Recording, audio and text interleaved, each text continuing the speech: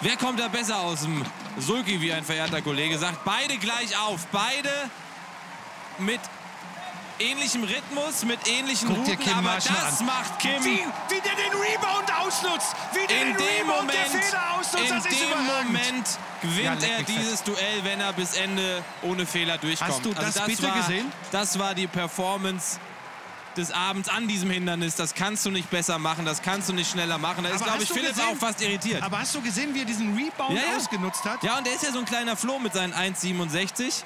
Und ähm, Philipp, habe ich das Gefühl, ist ja noch ganz perplex, dass das funktioniert hat. Und Aber Jan, Vorsicht, Ja, Jan, ja, Vorsicht. Wenn. Kim da einen Bock passiert, dann lebt die Chance für Jan. äh, für Philipp. Äh, was hat für Jan? Nee, Okay. nee, das lässt er sich nicht mehr nee, normal nicht.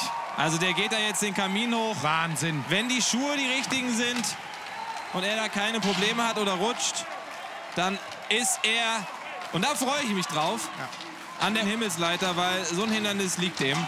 Ja, und das liegt ihm auch.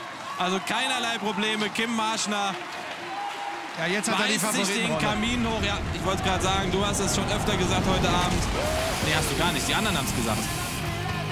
Ich würde jetzt aber auch sagen, also das war eine Performance, das war keine Chance lassen.